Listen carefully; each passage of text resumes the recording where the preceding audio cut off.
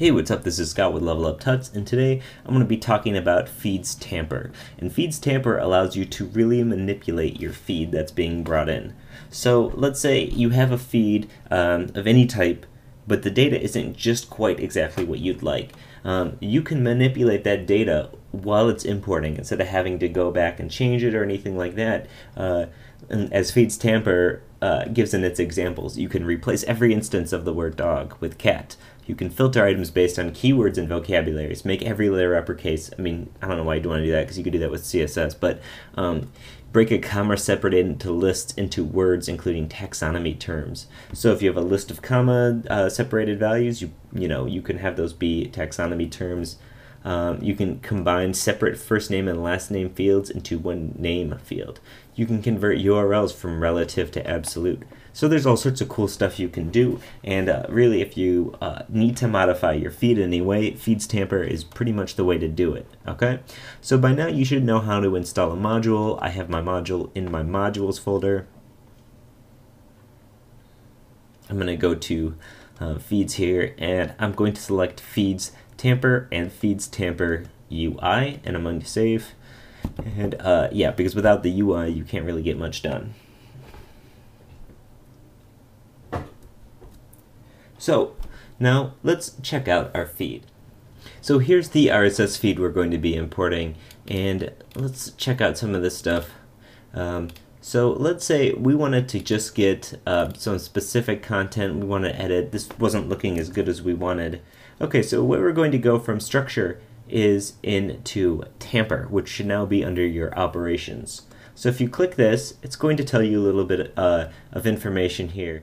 So what we were bringing in before is the title is going into title and then the description tag is going into the body. So if we check out our feed, here's the description and here's the title. Really are only two things. Uh, well, let's try to modify these things.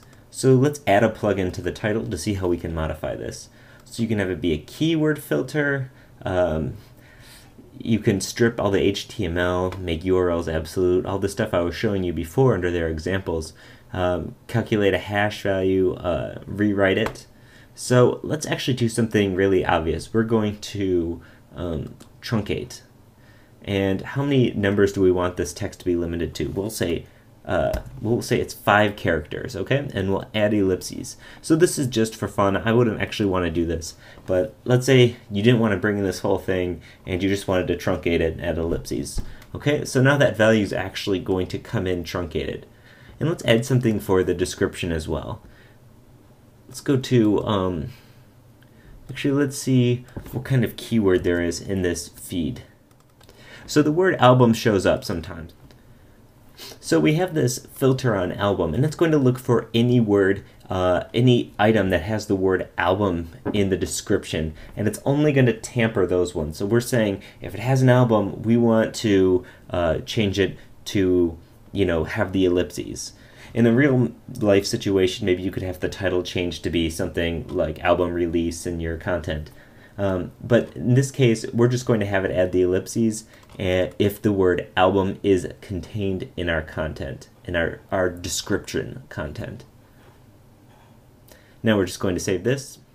And now let's try running our importer. So let's save this. I guess it might have been already saved. And let's go to structure, uh, feeds importers again, uh, our RSS feed, and uh, let's actually run this.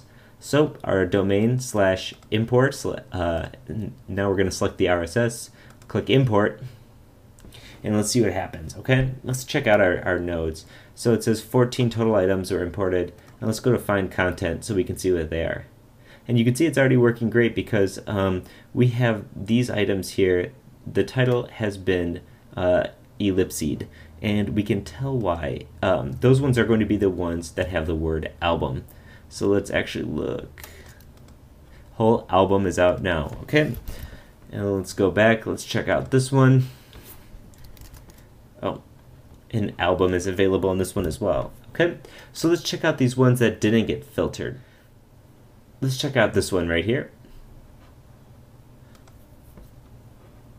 And if we search for album, okay, you're not going to find album. So really, it's tampering only the ones that have the word album. Okay, well those are two quick examples of what we can do with Feeds Tamper.